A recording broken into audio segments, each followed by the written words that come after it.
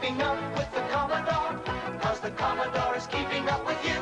The Commodore 64, now in a home family pack. A family pack containing the world's number one selling home computer. Get your paste pots ready because here's Taskset's 1984 Commodore 64 Billboard 'em up Poster Paster. In Poster Paster, you have one simple task to accomplish. Hang posters in the provided frame. Your character, Bill, has all the tools of the trade at his disposal, including a movable ladder, a bucket of paste, and a brush. Oh, and the poster itself, which comes in segments and is stored in the rack you can see on the left of the screen. The gameplay loop is simple enough then.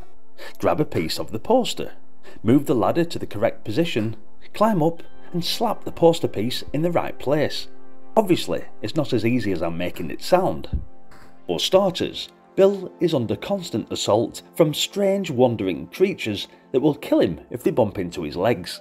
They run across the screen, occasionally moving up or down as they approach in a manner that seems random, but which I am convinced was purposefully designed to cause as much annoyance as possible. You can avoid the creatures by walking around them or climbing onto your ladder, or you can kill them by flicking a wad of paste off your brush. That gets rid of them in one hit, so having your projectile paste attack is extremely useful and your best form of defence. Having managed to pick up one piece of the poster, it occurs to me that I don't know which part of the poster this is. Oh well, I'll just chuck it up there and see what happens. Now, Bill is clearly a highly trained professional, but I have to question his decision to put the posters so far away from the frame. Oh, I know they're only a few steps away, but once you get a few stages into the game, they might as well be at the bottom of the bloody Marianas Trench, as we shall see. There we go, all done. It's a Commodore 64 logo, not the main C64 logo. I forgot exactly where it's from, but I think it appeared on early C64 models, which makes sense because Poster Paster was released in 1984.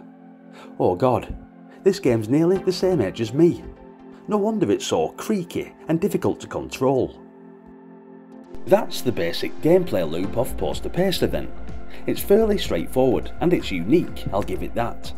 Full credit to TaskSet for creating an interesting gameplay concept out of billboards. Turns out you just need to take the job itself and add in roaming gremlinoids. I'm still not sure what's going on with those monsters actually. You'd think Bill's work would be interrupted by the common enemies of the billboard technician. You know, high winds, roving gangs of delinquent teens, sub-Banksy graffiti artists who think that spray painting Who's Watching Who on a Sky TV advert will really wake up the masses, that kind of thing. Instead, you're attacked by walking watering cans and the little blobs like the one on the left that look like Horace grew a pair of antennae and a sense of humour. Maybe they represent Bill's DTs. Billboard pasters are famously a hard drinking bunch. Naturally, things get more complicated as the game goes on. Bigger posters with more pieces for starters. I'm getting a handle on how everything goes, and I dare say I'd be enjoying the game if it wasn't for one small, teeny tiny, almost insignificant detail. The controls are terrible.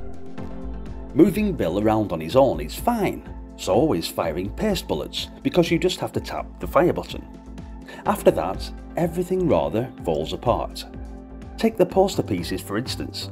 To pick one up, you walk over and press fire, but you're going to want a specific poster piece, and so you have to take the very tip of your brush, the pixel at the end of its sprite I mean, and place it directly over the poster piece you want. As you can see, the individual poster pieces are very small, so trying to pick up a poster involves place one pixel over a 4x4 group of pixels, and that's exactly as annoying as it sounds. At first it's frustrating, but once you get further into the game and start filling in even larger posters with the slightest error in positioning causing you to lose your poster, it quickly becomes torturous. Grabbing a poster is nothing compared to moving the ladder though. You can push it left or right, yeah, and it often requires a lot of small adjustments to get it into place. But to move the ladder, you have to stand underneath it and press up on the joystick, which causes Bill to grab the ladder and then you can move it around.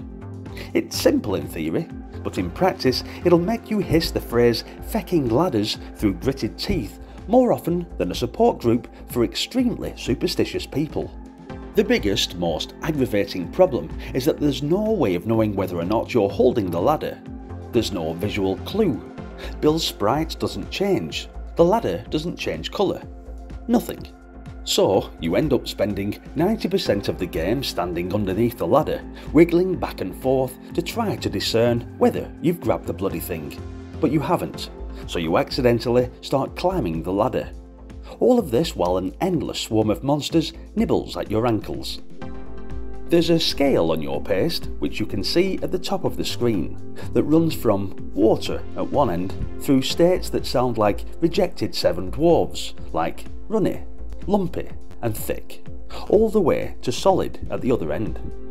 Flicking projectiles at enemies dries out your paste, so there's a balancing act in keeping your paste at a usable consistency. Poster Paster is yet another 80s home computer game that was almost ruined by awkward controls and a punishing difficulty level. But there's still a lot to like about Poster Paster, such as the concept itself, its sense of humour, and the fact you have a projectile weapon that can fall into lumpy status. It's still marginally less frustrating than trying to hang wallpaper yourself, so get it loaded up on your Commodore 64 and give it a whirl. But before that, don't forget to hit the like button and also please consider subscribing to the channel. What did you think of this game? Let me know in the comments. Maybe stick around to see more Commodore classics coming up next. Thanks for watching and I hope to see you there. Until then, bye for now.